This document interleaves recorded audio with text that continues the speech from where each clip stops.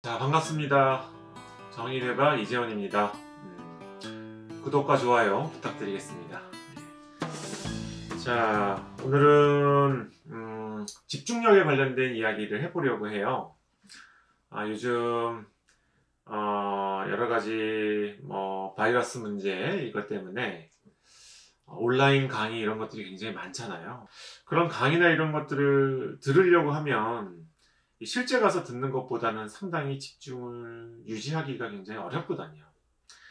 그래서 그런지 최근에 집중력이 떨어지고 어려워서 그런 문제를 상담받기 위해서 찾아오신 분들이 부쩍 더 늘어난 것 같습니다. 네. 그래서 오늘은 집중력 저하 이제 이런 게 어떤 원인에 의해서 일어나는지 예.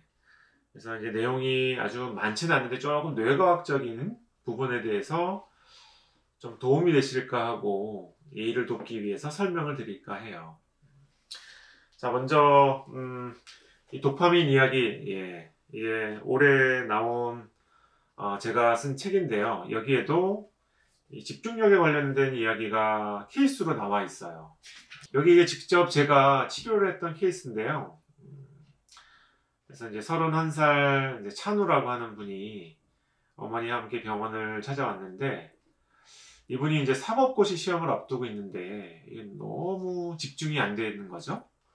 점점 시간이 이제 얼마 안 남게 되면 될수록 더 불안함도 올라가고 그렇게 돼서 음, 이분이 이제 몇 번 이제 이 사법고시를 실패를 하신 경험이 있으세요. 그래서 올해는 반드시 해야 된다, 반드시 돼야 된다 이런 압박감도 굉장히 많으셨고 그래서 이제 이분을 치료를 하고 진단을 해 봤더니 이렇게 도파민이 좀 충분한 경우에는 집중력이 잘 유지가 되지만 도파민이 부족한 경우에 집중과 이런 공부가 좀 잘 안 되는 어, 이런 문제를 만들어내게 되거든요. 이게 이제 뇌의 어떤 기능상의 어려움 때문에 발생을 하게 됩니다.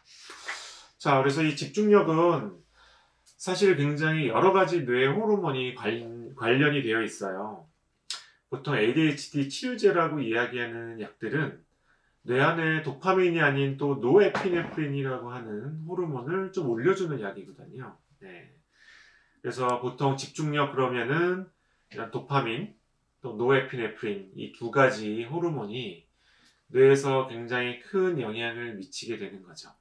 누구나 집중이 되는 상태에서는 다른 여러 가지 잡음 또는 여러 가지 잡생각 이런 것들은 다 억제가 돼야 되고 내가 지금 집중하고자 하는 생각에 확 몰입이 돼야 되거든요. 이게 이 가운데 상태라고 보시면 돼요.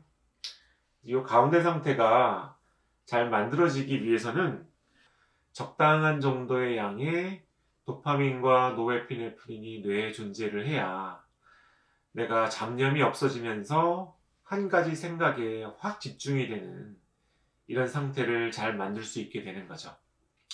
근데 보통 이런 호르몬이 부족해진 상태, 특히나 이제 너무 적어진 상태에서는 잡생각들이 자꾸만 튀어 올라와서 이걸 하고 있다 보면은 옆에서 튀어 올라오는 여러 가지 잡생각들이 내가 집중하고 있는 것을 자꾸만 방해를 하는 상태가 되는 거죠.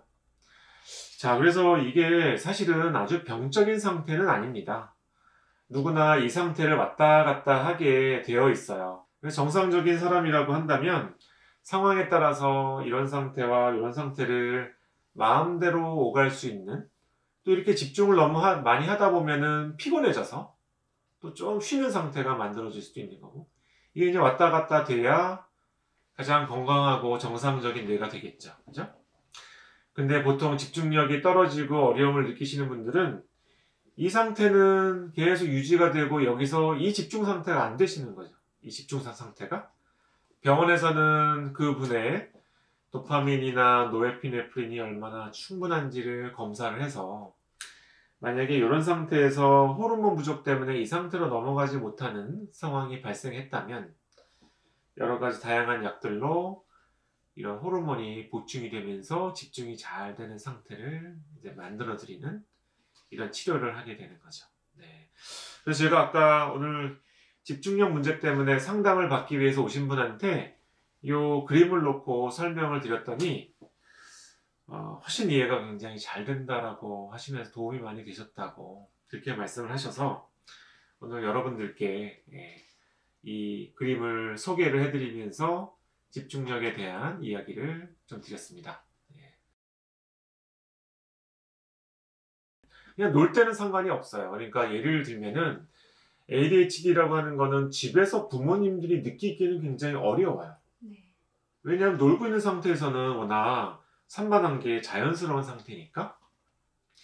그래서 집중력 검사라는 어떤 검사 도구를 통해서 이런 상태에서 부모님이 뭔가 학습을 시키는 시간을 갖듯이 일정 시간 집중을 해야 되는 과제를 주면서 이 친구가 이런 상태가 잘 되는지 아니면 이런 상태가 만들어졌는데 보통 다른 정상적인 아이들이라면 한 30분은 여기서 유지할 수 있어야 되는데 이 상태에서 일로 갔다가 뭐 한 1, 2분 만에 다시 이 상태로 오는지 예. 그래서 ADHD가 심하면 심할수록 여기 올라갔다가 머무는 시간이 줄어들 거고요 점점 정상적인 아이들이 보통 발휘하는 수준에 비해서 아 통계적으로 이거에는 너무 못 미친다 라는 식으로 기준점을 넘어갈 때 아 이 친구는 집중력이 정상이 아니구나 이렇게 이제 판단을 하게 되는 거죠.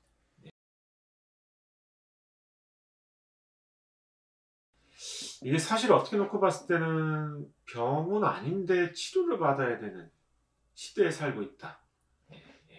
그렇게 그래서 늦는 아이들은 저희 때도 굉장히 많았어요. 근데 늦는 아이들 그냥 저희가 데리고 놀았거든요.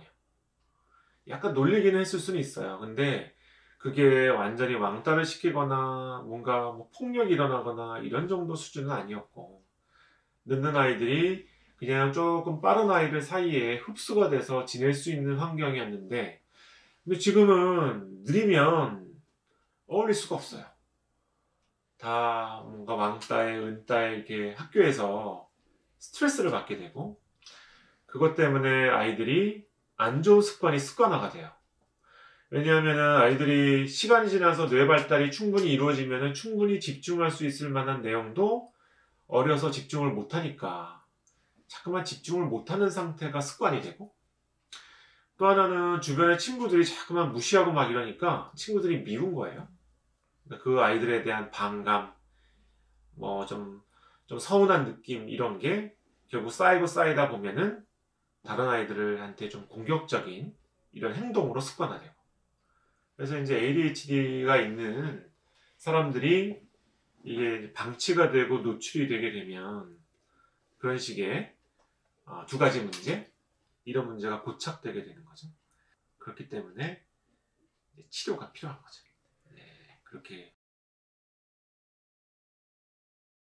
ADHD의 치료의 가장 중요한 점은 일단은 심리적인 상처만 받지 않으면 아이가 충분하게 성장이 돼서 발달 지연이 회복이 되는 이 시대쯤, 이때쯤 집중력이나 이런 문제가 사실은 많이 없어지거든요.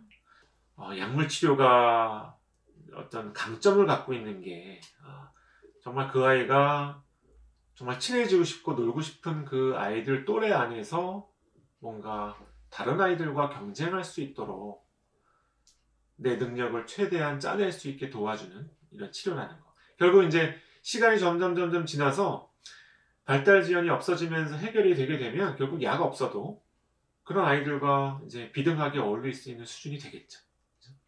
그때까지 시간을 조금 벌어주는 게 소화기 때 진행이 되는 이제 ADHD 치료라고 볼 수가 근데 뇌 안에서 전두엽은 가장 늦게 발달하는 뇌예요. 가장 늦게 발달하는 뇌. 예. 그래서 이런 검사상에 전두엽 발달이 얼마나 충분히 되고 있는지에 대한 검사는 사실은 컴퓨터 앞에서 숫자가 이렇게 나올 때 내가 1이면 눌러야지 하고 누를 수 있는 수준만 되면은 얼마든지 가능해요. 그래서 이제 보통은 한 5살, 6살 이 정도 수준이면은 어느 정도 검사가 가능한 수준이 된다라고 이야기를 합니다. 그러나 이제 그때 이 집중을 유지하는 능력이 떨어진다고 해서 그 아이가 뭐 발달 지연이 굉장히 심하고 이거를 뭐 반드시 나타내는 것은 아니기는 해요. 왜냐하면은 그 나이 또래는 검사에 대한 모티베이션도 잘 생기지가 않고 이 검사를 내가 왜 잘해야 되는지에 대해서 잘 몰라요. 저 같은 경우에는 너무 어린 시기에 검사를 해보는 게 어떤 기준점이 될 수는 있지만 다음에 검사를 했을 때 얼마나 나아졌는지 이런 거를 알아보는 근데 이제 너무 어린 시기에 검사를 해서 ADHD 수준의 집중력 저하가 나타났다고 해서 그 아이가 반드시 ADHD가 된다? 이렇게 이야기하기는 조금 이제 무리수가 있는 거죠. 적어도 제가 봤을 때는 만 6세 이상, 만 6세 이상에서 검사를 진행하는 게 조금 더 정확한 정보를 줄 수 있다. 이렇게 생각을 합니다. 어, 궁금하신 부분을 질문을 받고 좀 말씀을 어, 제가 답변을 해드리는 식으로 한번 진행을 해봤습니다. 어, 이런 내용이 궁금하셨던 분들에게 좀 큰 도움이 되셨으면 좋겠습니다. 예, 감사합니다.